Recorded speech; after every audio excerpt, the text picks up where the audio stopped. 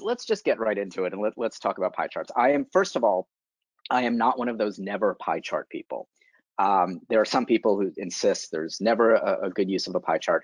I do use pie charts. I just use them very rarely and very sparingly because I think the the cases where a pie chart makes most sense um, are are few and far between, I guess. But um, I will say when I do use a pie chart, I think 80% of the time it's because the client insists on it. I've shown them something else, but they insist on the pie chart.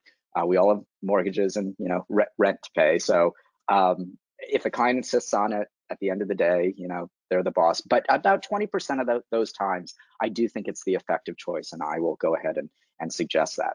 So uh, that's sort of just setting it up uh, to begin with. Um, it's it's a very small slice for me, that 20%, because for me to use a pie chart, I really think it has to have no more than four slices max. Usually for me, it's just two or three slices.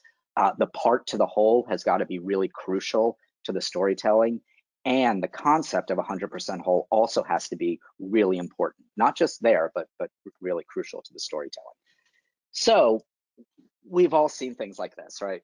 and you know, I look at this and immediately it, it's breaking my two to four slice rule. So you know, it's it's not going to be a pie chart. But I, I want to talk a little bit about why pie charts are so ineffective. We, we can sort of instinctively know it's ugly and hard to look at, but it makes when you have this many slices, it makes uh, comparison incredibly difficult, right? I mean, you eh, these non-adjacent uh, slices and the angle of the slice, which is how you determine value in a pie chart, they're just incredibly hard to read and determine.